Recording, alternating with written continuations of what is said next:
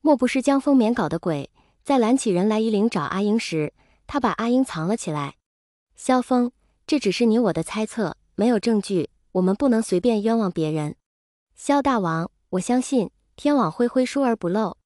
萧峰，如果一切都是江丰眠所为，如今阿英成为我的徒弟，他肯定会有下一步动作。却说外面，魏婴走完一套凌波微步，一脸求表扬的望着蓝湛，湛哥哥，阿英的凌波微步走的好不好？蓝湛嗯了一声。魏婴喜道：“湛哥哥，你终于理阿英了。”蓝湛道：“没有不理。”瘪瘪嘴。魏婴哼道。那我之前叫了你那么多声小哥哥，你都没搭理阿英。蓝焕一笑，阿英，若阿战不搭理你，他会直接走的。耳尖一红，蓝湛道：“兄长。”蓝焕笑了笑，阿英，你的凌波微步，身形和步伐都好快啊，不亚于御剑飞行。魏婴奇道：“御剑飞行，就是像那些踩着剑在天上飞的仙人一样。”蓝焕道：“是。”魏婴道。阿英以后也要御剑飞行。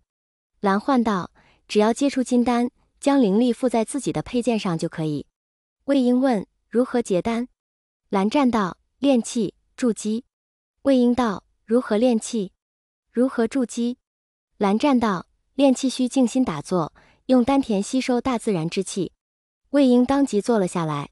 他这几天已经看过很多武功秘籍，自然知道如何打坐，也知道丹田在什么位置。蓝氏双臂见状，也跟着魏婴一起打坐。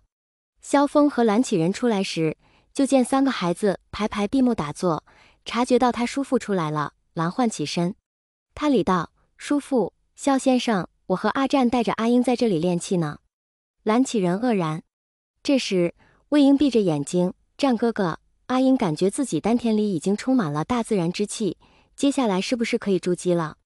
蓝焕诧异：“阿英。”你用了不到一盏茶时间就做到了炼气，蓝启仁懵逼，不到一盏茶时间，没听到蓝湛回答。魏婴道：“湛哥哥。”蓝湛就把他所知道的筑基告诉魏婴。一炷香后，魏婴跳了起来，兴高采烈：“湛哥哥，阿英筑基了！”蓝湛眨了眨眼睛：“师傅。”魏婴扑倒萧峰怀里：“湛哥哥说筑基百日之后就可以尝试接金丹。”萧峰系统。我好像就问了一下蓝启仁有关阿英父母的事情，阿英就成功筑基。萧大王，系统只能说蓝家二公子蓝湛和你家小徒弟魏婴，一个敢说，一个敢听。萧峰，当然，这也与你小徒弟天赋悟性以及他在空间里抛了一个多月的灵泉有关。萧峰，这么看来，阿英结丹指日可待。懵逼了半天，蓝启仁道：“萧先生，麻烦你在这里等老夫一会。”老夫去请兄长。萧峰道：“有劳。”蓝启仁离开后，萧峰想起系统在云深不知处山门口告诉他无字书上说韩光君蓝忘机是他小徒弟的未来道侣。两位小公子，萧峰道：“你们家可有谁叫蓝忘机？”蓝氏双臂摇头。萧峰：“难道蓝忘机还没出生？”极有可能。萧峰：“可姑娘家名号应该不会叫韩光君。”萧大王。说不定蓝忘机为了方便行走，修真界女扮男装，就像花木兰替父从军。修真界没有人发现蓝忘机是女子，就给蓝忘机起了寒光君的名号。萧峰，系统，虽然你说的有道理，可我怎么听着哪里怪怪的？师傅，魏婴扯了扯萧峰衣袖。萧峰回过神来，怎么了？魏婴道：“阿英想带战哥哥和蓝大哥去空间里看你送给阿英的藏书楼。”萧峰道：“阿英，乖，师傅待会要和你战哥哥父亲青恒君比武，等有时间了，师傅再带你们三个进去。”魏婴点点头，嗯嗯，凑到蓝湛面前，魏婴比划：“战哥哥，阿英的藏书楼里有好多书。”蓝焕道：“阿英，你喜欢看书的话，我们家有一座藏书阁。”魏婴立即道：“战哥哥，你带阿英去你家藏书阁看看。”蓝湛道：“比完武。”魏婴。蓝焕笑着解释：“阿英，阿战意思是等你师父萧先生和我父亲比完武，他再带你去参观我们家的藏书阁。”魏婴眼睛亮亮的：“好呀，好呀。”对于萧峰手里凭空多出一本书，青恒君与蓝启仁面面相觑，但两兄弟也没问，反倒是魏婴跑到萧峰身前：“师傅，这是要给阿英看的书吗？闻言，萧峰愣了愣，旋即笑道：“藏书楼里的书还不够你看吗？这本是师傅要赠给蓝宗主青恒君的书。”青恒君讶然：“给我的？”萧峰颔首：“是。”虽然不知萧峰为何要赠他书，但他也没有拒绝的理由。于是青恒君道：“既如此，蓝某就却之不恭了。”萧峰抱拳：“蓝宗主，萧某会和阿英在云深不知处多停留几日。你看完《天龙八部》，若有什么不明白之处，可来找萧某。”青恒君道：“好。”魏婴喜出望外：“师傅，这么说，阿英可以和战哥哥多玩几天了？”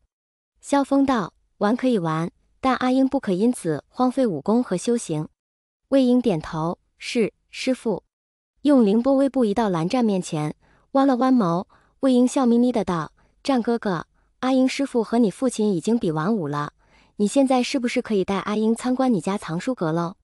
蓝湛点了点下颌，嗯。听到蓝湛同意了，魏婴伸出小爪子，开心的牵起蓝湛的手：“那我们走吧，战哥哥。”你蓝湛艰涩道。手松开，魏婴道：“不松。”蓝湛道：“云深不知处，不可勾肩搭背。”魏婴道：“阿英没有勾战哥哥的肩，也没有搭战哥哥的背，只是牵战哥哥的手。”蓝湛、青恒君一笑：“萧先生，你小徒儿与我小儿子相处甚欢。”萧峰道：“可能他们俩年龄相仿吧。”系统：我总觉得阿英在对青恒君家的小儿子死缠烂打，也算不上死缠烂打吧。毕竟，你小徒弟阿英缠了人家蓝二公子不到两个时辰，就成功牵手蓝二公子。萧峰就这样，萧峰带着他的小徒弟魏婴在云深不知处住了下来。在吃了一次兰家饭菜后，萧峰每到饭点就带着魏婴去彩衣镇那家湘菜馆去吃，顺便也尝到了姑苏有名酒天子笑。看着萧峰一碗接着一碗喝酒，魏婴低头望了望手中的茶水，师傅。阿英什么时候能和你一样喝酒呀？萧峰一怔，你想喝酒？魏婴道：想。萧峰道：等你大一点。